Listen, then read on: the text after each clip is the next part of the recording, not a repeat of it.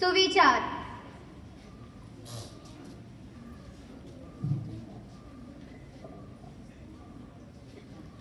सुप्रभातम्। उत्साहो बलवानार्य नास्त्युत्साहात् परं सोत्साहस्य च लोकेषु न दुर्लभम।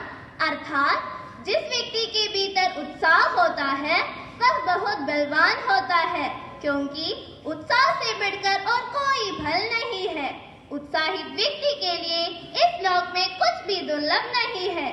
अहम पुनः वदामि, उत्साहो बलवानार्य नास्त्युत्साहात् परं बलं सोत्साहस्य च लोकेषु न किञ्चिदपि दुर्लभम्। धन्यवादः।